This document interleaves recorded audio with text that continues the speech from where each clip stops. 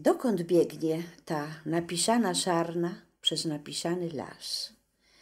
Czy z napisanej wody pić, która jej pyszczek odbije jak kalka? Drobna radość ma największe znaczenie. E, Czasem wielka radość ma największe znaczenie. Czasem mały smutek ma też wielkie znaczenie. E, To, to zależy od chwili, zależy od e, nastroju. Tego się nie da wymierzyć, nie da się nigdy przewidzieć, co będzie znaczyło najwięcej w naszym życiu.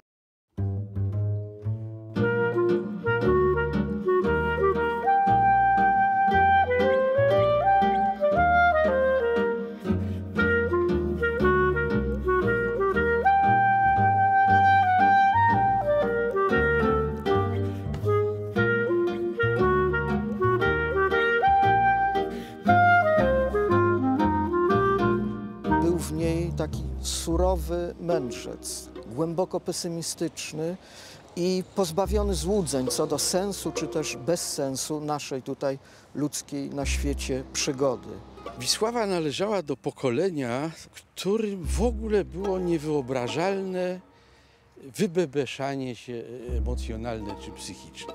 I ta dyskrecja to nie tylko była Wisława jako osoba, ale Wis- Wisława jako twórczość. Nie lubiła rozmów o poezji i takich rozmów nie ryzykowaliśmy. Najczęściej plotkowaliśmy, wygłupialiśmy się i nawet jeżeli mówiła o rzeczach mądrych czy głębokich, to mówiła o nich albo żartem, albo przy pomocy jakiegoś paradoksu. trudno było jej zadawać e, trudne, poważne e, pytania. Z drugiej strony było tak, że mm, kiedy na przykład dziennikarz e, zadał jej jakieś poważne pytanie, to ona, najczęściej zaciągając się papierosem, mówiła: e, Wie pan, to jest dobre pytanie, napiszę o tym wiersz.